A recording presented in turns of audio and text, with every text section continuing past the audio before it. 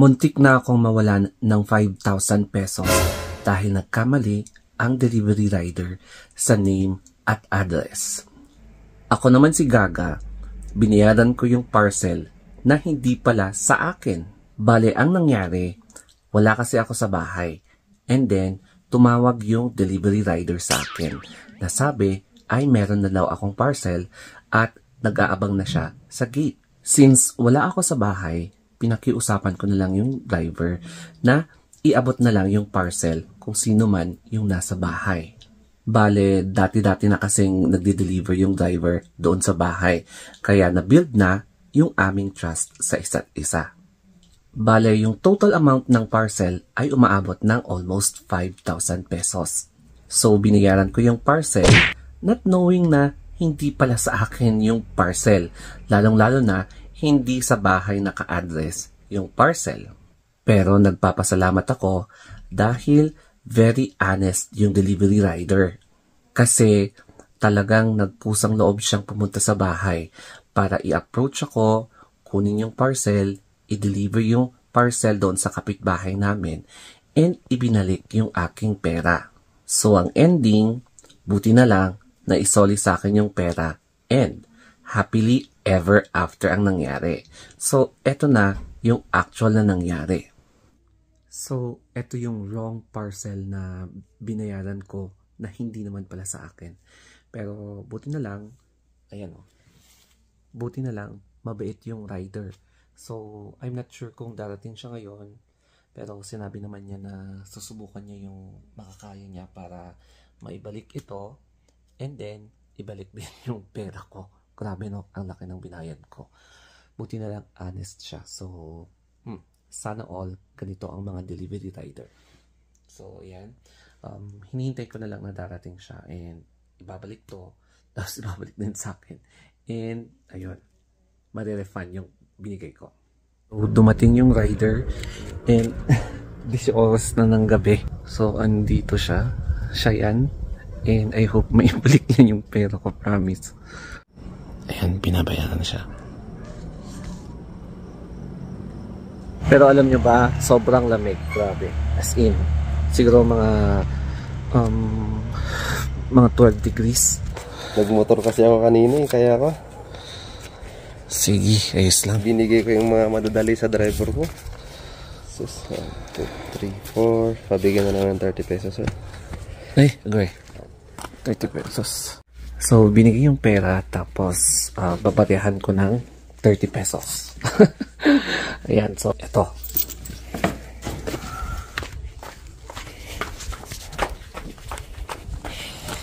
Ala. Okay, sige. Next time. Text ka sir. Magdantay chin-check ko. Sorry sir. Sorry, sorry sir. Okay naman, sige ka Ang maganda, hindi kami nag-initan ng ulo. Hindi ko pinairal yung init ng ulo ko. Very kalmado ako sa nangyari. Tapos, yung delivery driver naman, mapapansin mo talaga na very guilty siya. And dali-dali talaga siyang inayos yung problema para hindi pa sumapog. Buti na lang, ibinalik yung binayad ko. So, napakabait ng driver na yan. Motorcycle delivery rider. And yes, lesson learned na next time, i-check yung name tsaka address ng kung sino yung client, kung saan i-deliver yung parcel. Kasi kung minsan, hindi mo may iwasan na iinit ang ulo ng mga iba. So, lesson learned ito sa mga delivery rider na um, wag kayong deliver ng deliver na hindi nyo chinecheck. Kasi mahirap na.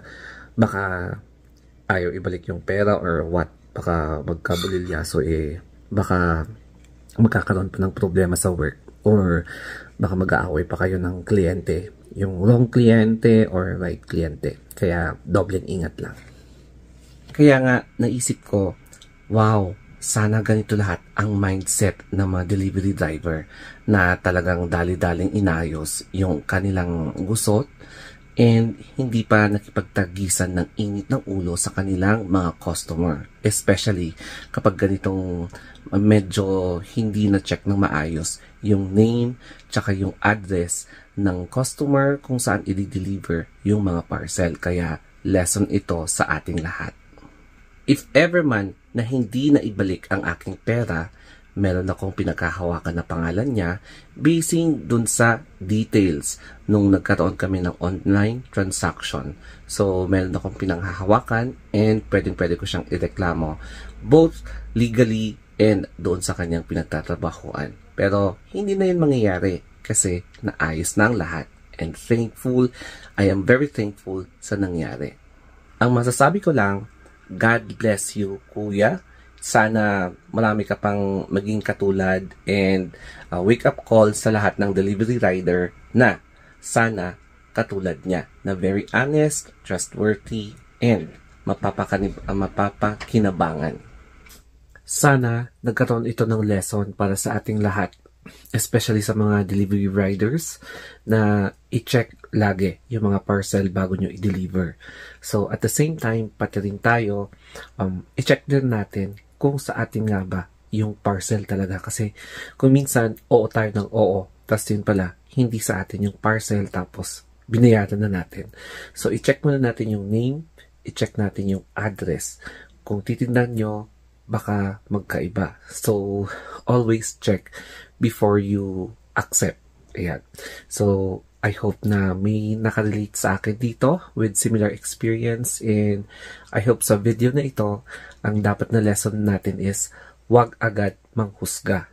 I-assess muna natin yung nangyari, tsaka wag tayong laging nagagalit-galit. So, always consider na we deserve another chance.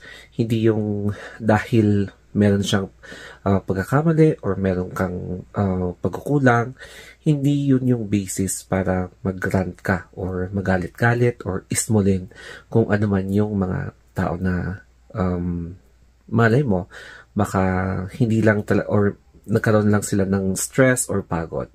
So that's it guys. We all deserve a second chance or another chance. So that's it guys. Thank you and have a wonderful day.